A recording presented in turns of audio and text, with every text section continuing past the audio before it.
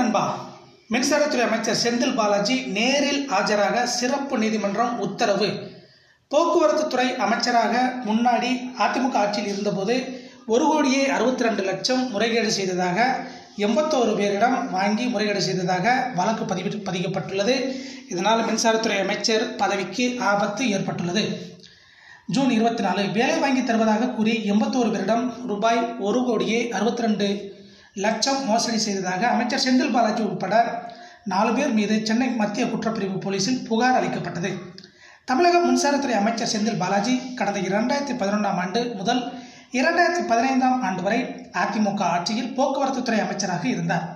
அப்போது வேலை வாங்கி தருவதாக கூறி எண்பத்தோரு பேரிடம் ரூபாய் ஒரு கோடியே அறுபத்தி ரெண்டு லட்சம் கோடி மோசடி செய்ததாக அமைச்சர் செந்தில் பாலாஜி உட்பட நாலு பேர் மீது சென்னை அம்பத்தூரைச் சேர்ந்த கணேஷ்குமார் தேவசகாயம் உள்ளிட்டோர் சென்னை மத்திய குற்றப்பிரிவு போலீசில் புகார் செய்தனர்.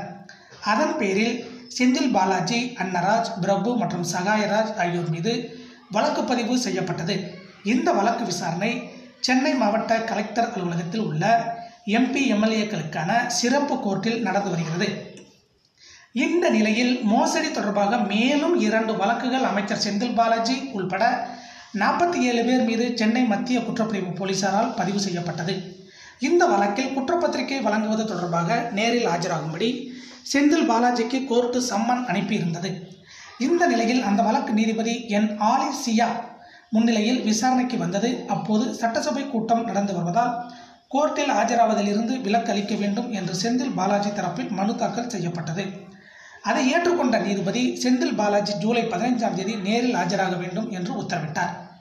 இதே போன்ற மின்வாரியம் செந்தில் பாலாஜி செய்திகளை உடனுக்குடன் தெரிந்து கொள்ளலாம் சேனல் சப்ஸ்கிரைப் பண்ணுங்கள் லைக் பண்ணுங்கள் ஷேர் பண்ணுங்கள் நண்பா நன்றி வணக்கம்.